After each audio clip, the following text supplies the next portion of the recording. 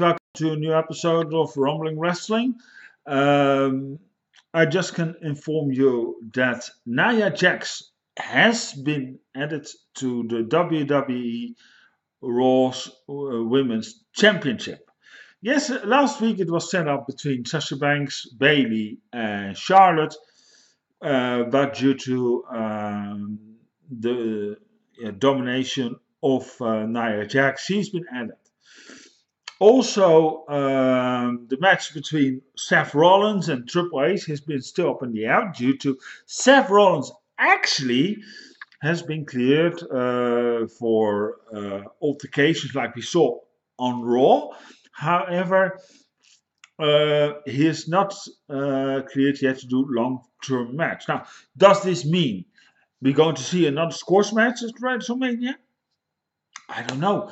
Um, also, it looks like the match uh, between Big Show and um, Sh- Shaquille O'Neal is definitely off the table. Uh, Big Show was yesterday announced that he will be um, entering the Andre the Giant uh, battle uh, of Memorial Battle Royale. And um, yeah, and that's actually a shame because he would have liked, I think he would like to do that much high profile match. Um, so I feel a little bit like sorry for the big show because his contract is also due in February 2018. And I think this will then be his last WrestleMania. Um, uh, Kane has also not seen on Raw due to uh, minor injuries, nagging injuries, and probably won't be coming back due to in 2018 he will be running for mayor. As on the side, he is running um, also some sort of yeah agency with insurances. That's what up to news for today on Rumbling Wrestling. Um, anyway, I'll be back tomorrow.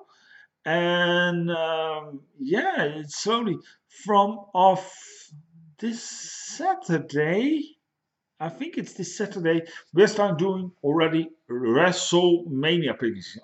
I, I will get back to you on that because it's probably going to be Friday or Saturday. It depends on a little bit on the status of the match. We're going to discuss every match. We're going in depth. We're going to talk about and who's favorite to win these matches. But I'll come back to debate uh, a little bit inform you more later this coming week. My name is Jan Jaap Abbing reporting for JJA Sports Studio. This is Rumbling Wrestling. See you then. Have a great evening and I'll see you tomorrow. Bye.